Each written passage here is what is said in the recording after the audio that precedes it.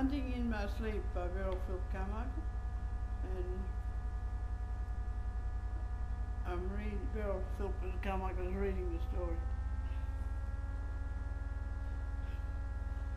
Peacefully sleeping beneath the trees, rustling of dry leaves, stirred by breeze.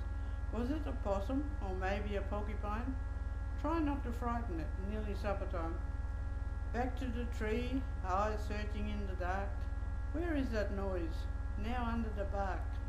The bark is thick and strong as well. I shake it, and down old goanna fell. I dive on him, for he was quick. Hit him on the head with digging stick. Back to the tree, branches hanging low.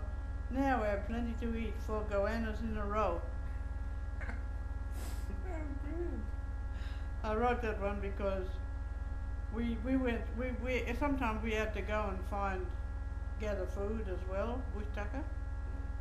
And of course the goanna you could always bet on finding a goanna whether it was on the round the billabong or or get a river and whatever. I've never tasted goanna. And it tastes just like chicken.